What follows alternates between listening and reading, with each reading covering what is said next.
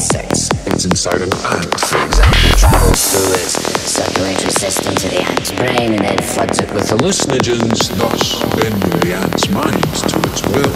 Somebody starts to direct the ant's behavior, tell it where to go. Oh,